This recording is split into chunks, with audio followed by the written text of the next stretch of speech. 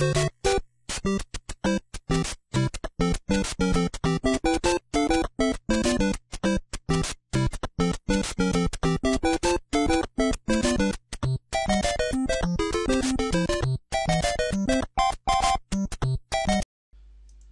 this tutorial we're going to be looking at raw input. Now in order to get a value from the user uh, we need to use a raw input. So imagine I want to find out someone's name. The command for raw input starts off with the word raw input with an underscore followed by an open bracket and then a question in quotation marks. So my question is what is your name?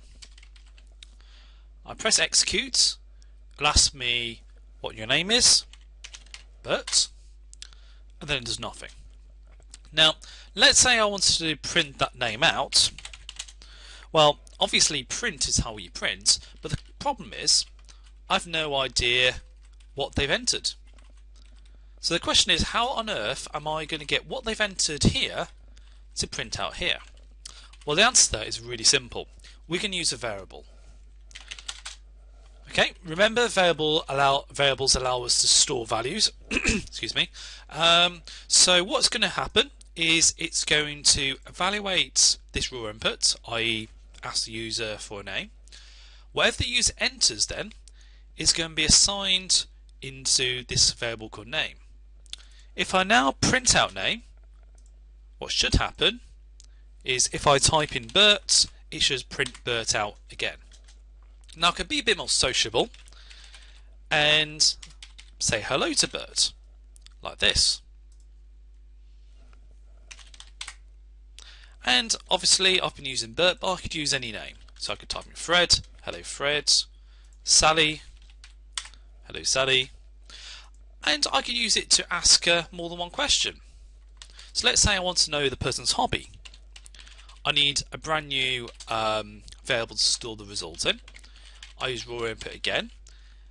And I need a different question this time. So what is your hobby? Not hubby hobby and then I can do something with it you like hobby so it's going to ask the two questions first so the name what is your name then the hobby then it's going to print out uh, the person's name and the hobby. So let's try that. Fred likes football. So as you can see, it prints it out. Raw input is a great way of getting information in, and we can do the same for numbers.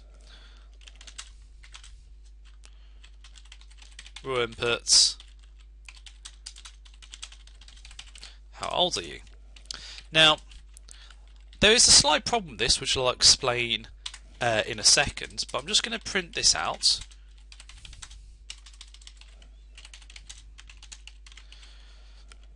Like this. So it should now, let me type in Fred, football, age, 34. Yeah, everything seems to be working fine. There's one problem though. Imagine I want to do this. Your age doubled And then, obviously, to double someone's age, you times it by 2. Now, watch what happens. I type in the name, Fred, type in football, age 10, and it should print out 20, shouldn't it? Because 10 times 2 is 20. But actually prints out 1010. Now that's blatantly wrong. But let's explain what actually Python is doing. Raw input always returns text. Now Python's not clever enough to know that that should be a number. It will just accept whatever you type in as text. And if you remember, the multiplier sign, when you apply it to text, just simply repeats it more than once. So if I put in the 3 there, and I just quickly do that thing again, so Fred, football, and how old are you 10, it's now going to print out 10, 10, 10. So it's basically just taken the text 10 and repeated it three times. So the question is, how do I actually get it to treat it as a number? Well, the answer is to convert it into a number. And I can do that using this casting int. Now to cast, what cast does is it will it will take uh, one data type, in this case text, and turn it into a different data type, in this case numbers. The int surrounds the whole of the raw input with an open bracket before the raw inputs and a closed bracket afterwards. Think of it a bit like a sandwich. The filling, in this case, is the raw inputs, and the bread, in this case, is the int. So the int will take whatever the filling is, which in this case is how old are you, the raw inputs, turn that string into a number and then store that number its age.